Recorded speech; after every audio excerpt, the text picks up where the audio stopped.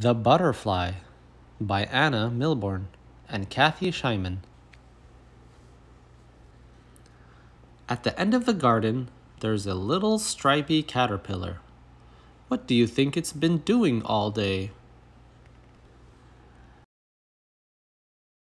First, it ate up the leaf it was sitting on, and when that was gone, it started munching on the next one. There are lots of other hungry caterpillars too. There's a teeny tiny green one, a very chubby yellow one, a soft white hairy one, and a big fat fuzzy one. And all of them are eating as fast as they can chew. The little stripy caterpillar is not so little now, but still it keeps on eating. Soon it's even too fat for its skin.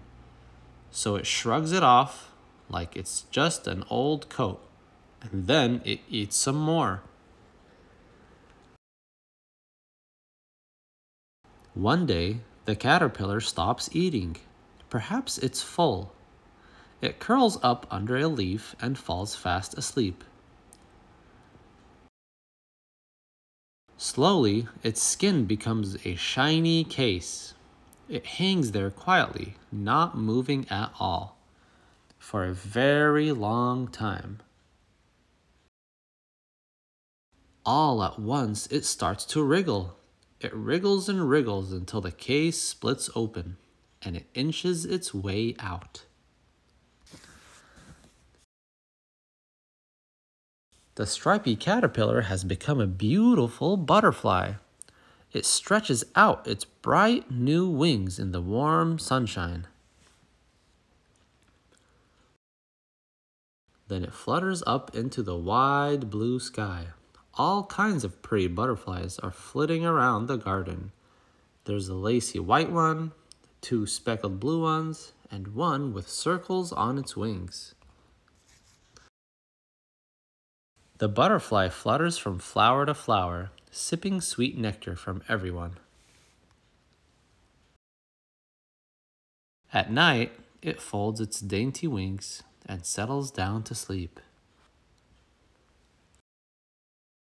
When it's time, the butterfly carefully lays some eggs.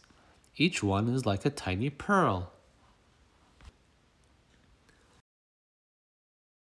A few days later, a little stripy caterpillar pops out of each egg. They are all very, very hungry. Can you guess what happens next?